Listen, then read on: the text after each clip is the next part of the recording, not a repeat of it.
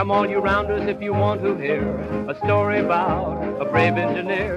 Casey Jones was the rounder's name. On a six-eight wheeler, boys, he won his fame. But here's something that you didn't know. Casey was a jazz man who really could go. All the trainmen used to lend a hand, and that's the real story of the Dixieland Band. Casey Jones, he was their director. Casey Jones used to lead the band.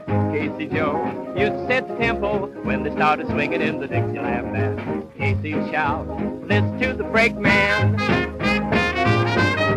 Casey'd roar, let's hear from you, conductor. Casey'd yell, listen to the fireman. Casey'd cry, all together fellas, swinging from the roundhouse to the end of the line.